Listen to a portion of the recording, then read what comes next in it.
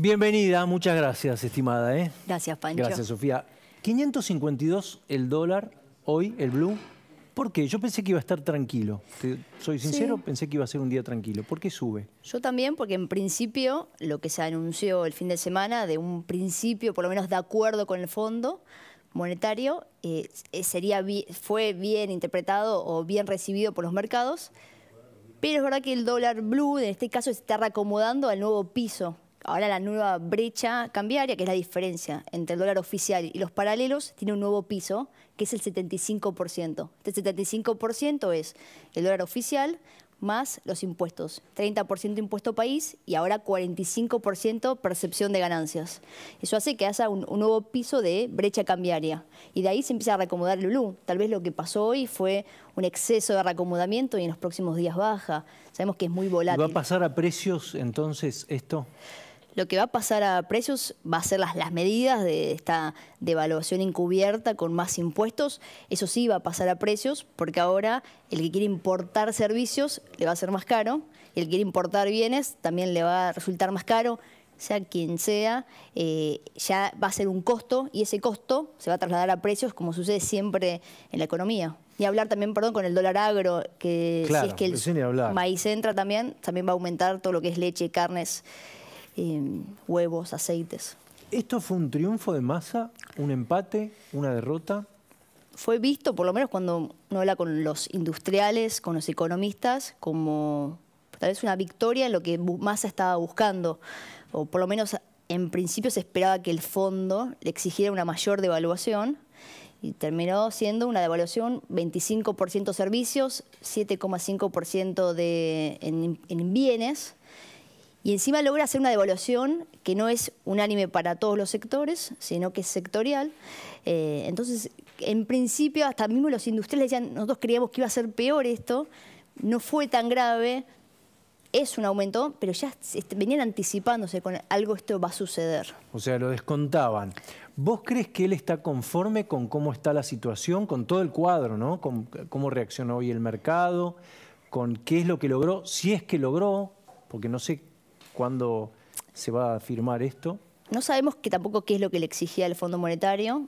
Cuando hablamos con gente que habla con el fondo, sí le pedía por ahí tal vez un ajuste fiscal mayor, lo que gana Massa con este tipo de devaluación, que no es una devaluación directa, sino es sumarle impuestos al tipo de cambio oficial, es que también va a recaudar más. Ellos calculan, y coinciden también los economistas, que va a calcular casi un punto más del PBI, lo que le permite al gobierno, el principal problema hoy que tenía el gobierno es que en el primer semestre más o menos hizo una, reducción de los gastos bastante importante, que es toda una novedad para un, para un gobierno kirchnerista hacer un recorte en un año electoral. Bueno, el gobierno logró... ¿Reducción o ajuste? Ajuste, vamos a decir ajuste. Mirá que el gobierno no dice la palabra ajuste. Bueno, digámosla, es un ajuste lo que hicieron. Es un ajuste. Pero este, yo creo que cuando hubo un cambio en el Ministerio de Economía, cuando llegó Massa y dice, sí, es un ajuste, ellos también le dirán reacomodamiento o, sostenimiento, eh, pero hizo un ajuste, cayó el gasto 6% en términos reales, es decir, cuando descontamos la inflación, el gasto sí cayó. El problema con el gobierno es que también los ingresos le cayeron, cayeron 8, 9%, por el impacto de la sequía. Entonces, lo que terminó sucediendo es que el déficit, en vez de bajar, se agrandó y por eso es que no cumplieron con las metas con el fondo.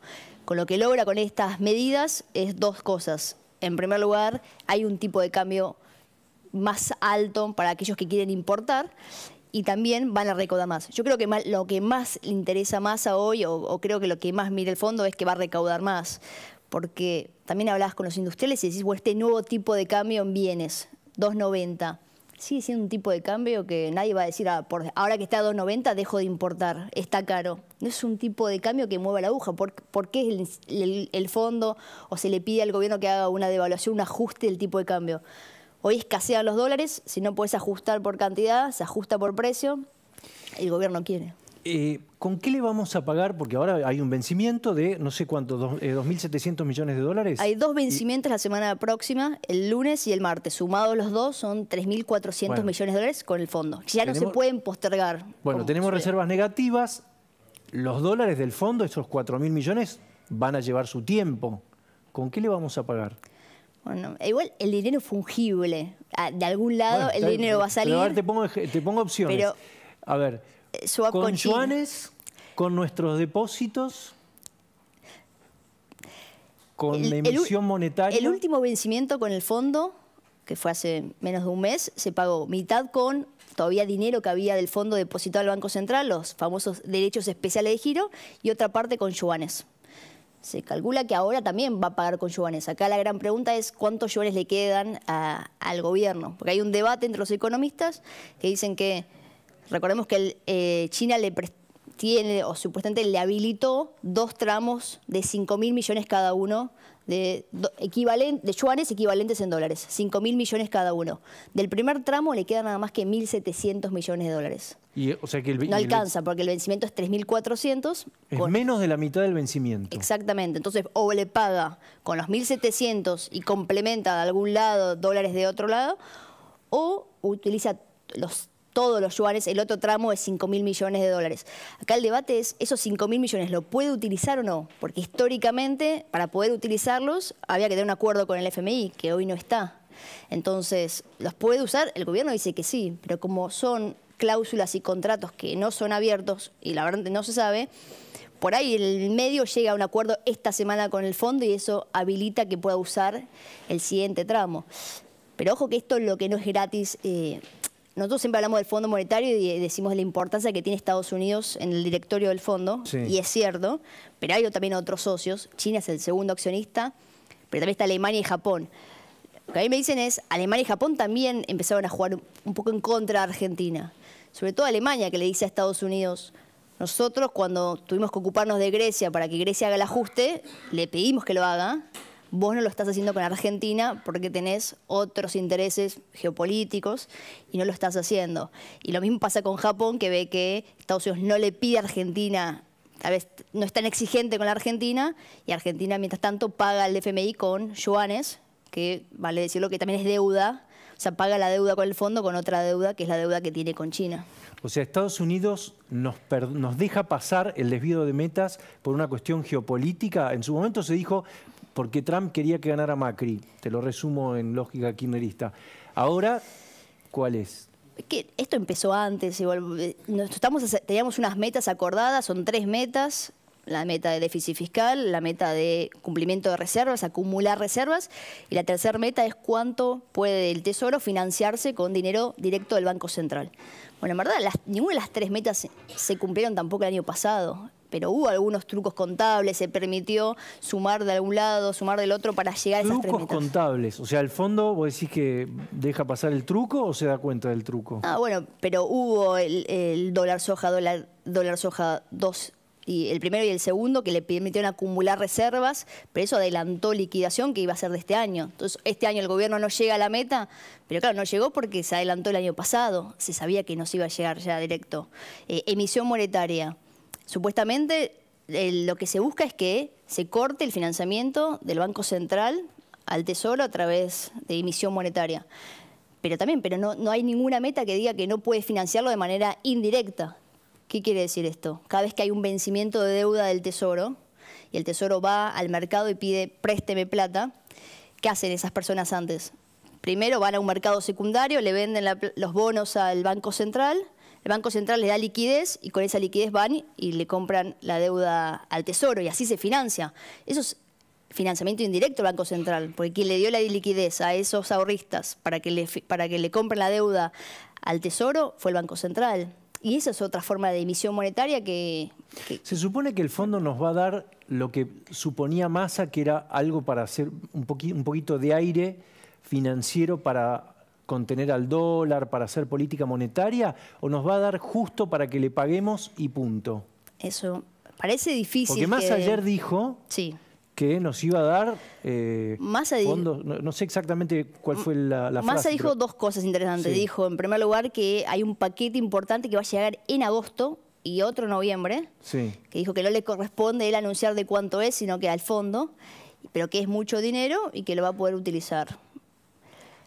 Lo que hoy vemos es que el fondo, según el cronograma original que ya está publicado en la página del FMI, tenía que haberle dado a la Argentina 4 mil millones de dólares en junio, entre fines de junio y julio. Bueno, estamos llegando ya a fin de mes y esos 4 mil millones no están. Entonces, más anunció en mayo que le iban a adelantar fondos. Bueno, no solo no le adelantaron, sino tampoco le desembolsaron lo que correspondía para junio. Que ver si ese dinero termina llegando después de que sí se firme el acuerdo con el FMI en agosto. Y ahí podría. ¿Cuánto hay de eh, lo de ayer de excesivo optimismo? ¿Cuánto hay de concreto? Decir, bueno, si el Fondo Monetario hizo un comunicado, ¿tiene que haber algo concreto? ¿O Massa muchas veces a los periodistas, a los colegas que siguen Fondo Monetario, que siguen economía, les va corriendo todo el tiempo el arco. Porque en un momento se dijo, eh, iba a viajar el 12, creo, todavía no viajó. El 12 de junio iba a viajar, ¿te acordás? Sí, sí. Al principio. Sí, dijo también que las próximas horas iba a cerrar y, eso lo dijo públicamente. También eh, Gabriel Rubinstein, que es digamos, el viceministro de Economía, dijo, conferencia de prensa, dijo que eh, en las también los próximos días se cerraba el acuerdo y que más iba a dar una conferencia de prensa explicando todos los términos. Nada de eso sucedió, no solo de masa, sino que todo el equipo económico pensó que se iba a cerrar, pensó o nos hicieron creer que estaban más cerca de cerrar para ir ganando tiempo. Em, sí es una buena noticia que el FMI haya tuiteado de su cuenta oficial que sí que se está cerca de un acuerdo, que se llegaron a unos aspectos medulares. Cuando hablas con de vuelta con los economistas, con los analistas, con los banqueros, dicen es una buena noticia porque en un momento se pensó que no se llegaba a un acuerdo, que por lo menos el acuerdo se pasaba hasta después de las pasos. Después de este, de este anuncio del FMI, bueno, se, entiende que sí se está cerca de llegar, pero hay que ver realmente, si pasan los días y no se termina firmando, se vuelve, ¿viste? como es todo muy volátil las expectativas del mercado. ¿Hasta cuánto dura este acuerdo? Más allá de estos 4 mil millones que tendrían que haber llegado y que todavía no llegaron, en el tiempo, porque Massa dice, vamos a desentendernos del fondo. Es que Massa lo que él cree es que con esta negociación ya no, habría más revisiones hasta fin de año. Y en, noviembre, diciembre ya habrá un nuevo gobierno electo y un, nuevo gobierno que asuma, o mismo Massa desde otro rol. Pero todos dan por descontado que una vez que se llega a diciembre, ya este programa ya no va más, porque supuestamente un programa lo que busca el FMI es llevar credibilidad y darle una señal. O sea, el problema, uno, ¿por qué va al FMI? Porque ya no tiene forma de, que, de financiarse y de que le renueven deuda. Nadie le quiere prestar dinero a la Argentina porque no cree en la Argentina. Entonces la Argentina va al fondo y le dice, ayúdame a volverme creíble. Y el fondo le dice, bueno, vamos a seguir este programa, vas a bajar tu gasto porque ya no tenés cómo financiarlo, tenés que dejar de emitir porque tenés una inflación altísima y si no lo logra, ninguno, no logró generar credibilidad el programa, por eso el programa falló. Eh, ¿Es verdad que el fondo habla con analistas de la oposición que le dicen no le apruebes nada? Eh, que no son patriotas, como dijo. Son muy la serie 2000, Crisis 2001. Habla, sí, el fondo habla con, con todos, cuando uno le pregunta a los economistas, analistas, a la oposición, sí tiene una relación con el fondo. ¿Y el fondo después le cuenta a Massa? No, bueno, eso sí que es eh, bastante, extraño.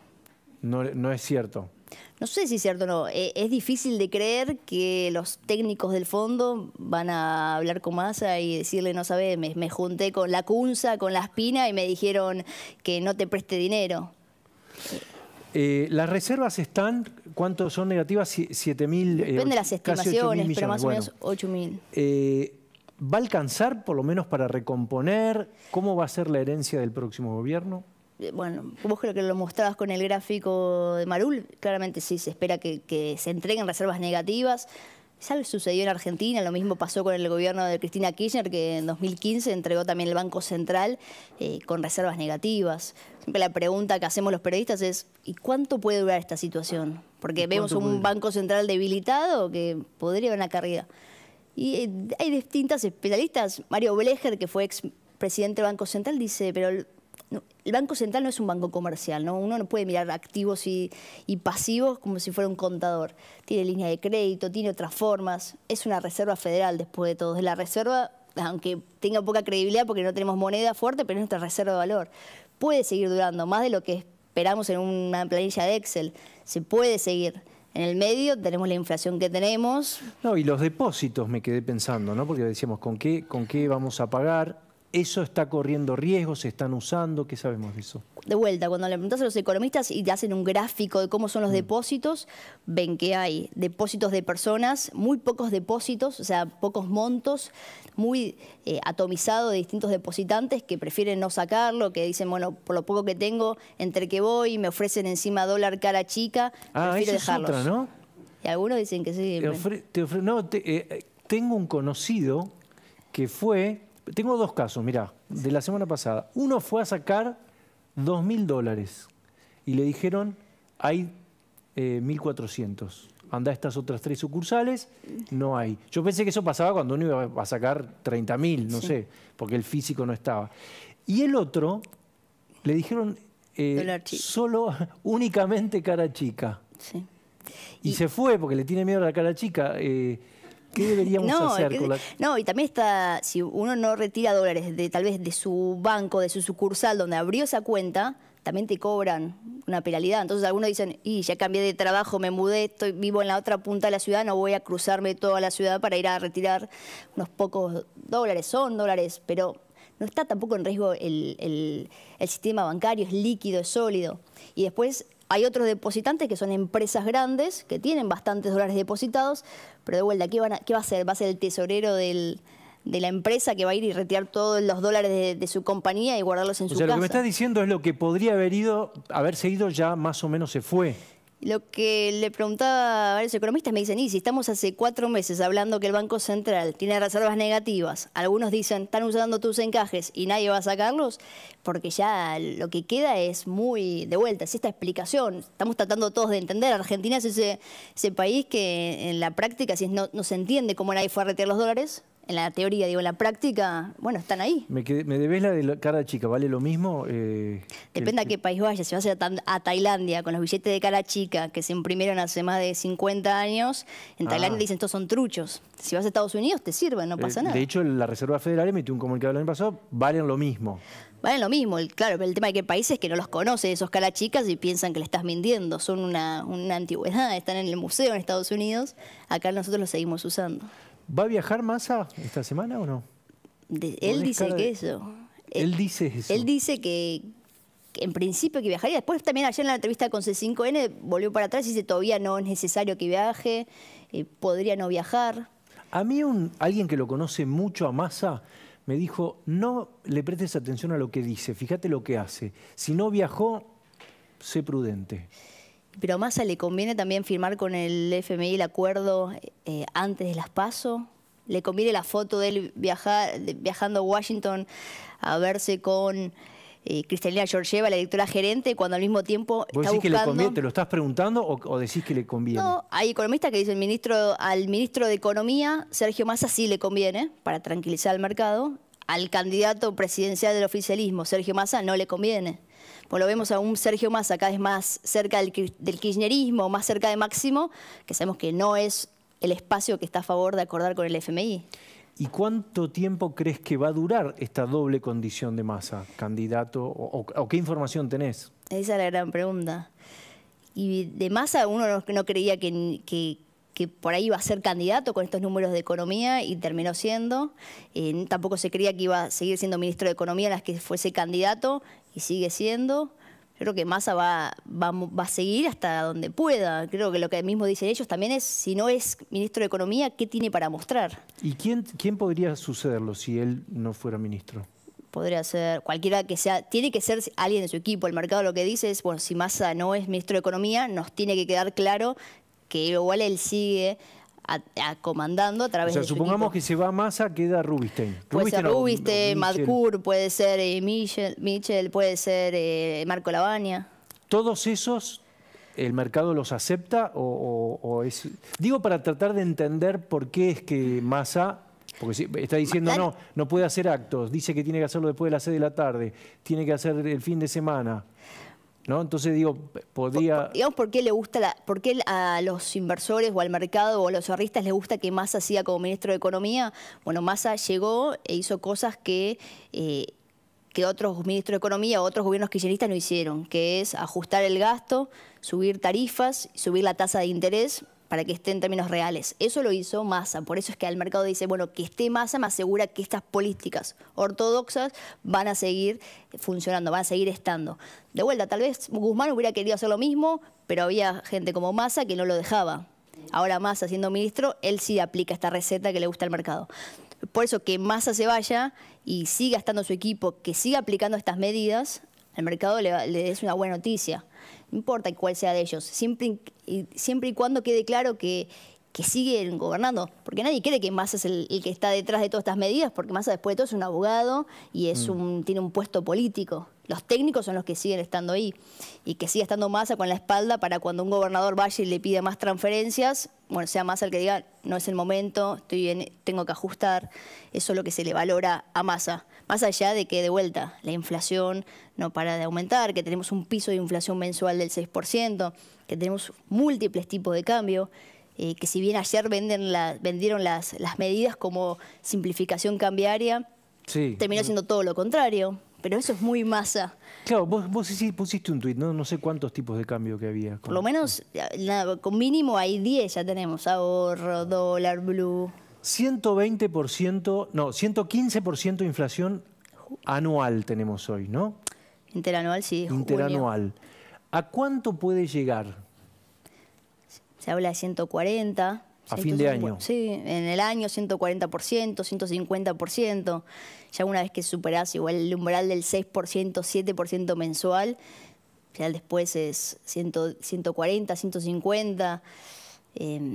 Ah. La proyección ahora para la que, la, que no está medida, que es julio, es que va a ser mayor. El gobierno era optimista con el 6% de junio. Y ya se empieza a ver que va a ser cercana a 7% y que va a tomar impulso y va a ir aumentando. Primero porque, de vuelta, la, emisión monetaria sigue altísima, sigue el Banco Central emitiendo pesos que nadie quiere y terminan yendo a, a los precios de la economía. Después, por las medidas que se acaban de anunciar, le van a trasladar un costo a, los precios.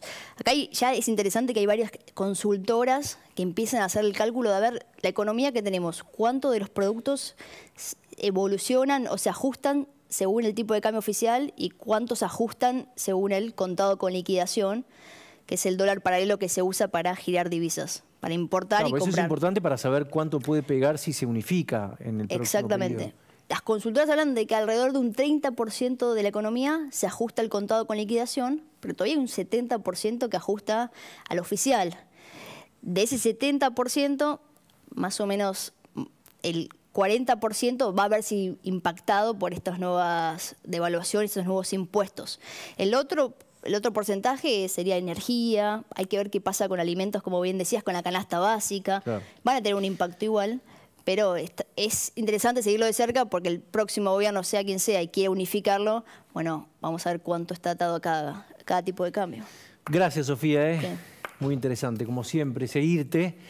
En unos instantes viene Vilota con el caso de otra valija, una más en la Argentina, misteriosa, en este caso en el conurbano, y otro misterio, los pituquitos, ¿son solamente de Recoleta o en Córdoba también hay? Vamos y venimos.